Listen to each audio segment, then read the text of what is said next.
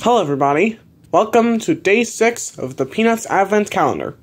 Today, we'll be opening up door number six. Who will it be? Who will be behind this door? Will it be Lucy? Probably not, but let's find out.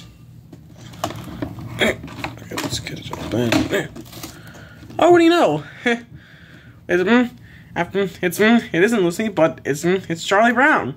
I'll go here. I'm gonna take a moment to pause the video and get him out off screen. Well, here he is, the lovable, the lovable blockhead himself, Charlie Brown. The mm, yeah, mm, there's not much to say. It is. It's not like an, uh, an articulated, mm, a fully articulated figure, just a little figurine. Although there is a little bit of articulation in the head, somewhat. Yeah, there's a little bit of articulation in the head. But that's about it in terms of the articulation.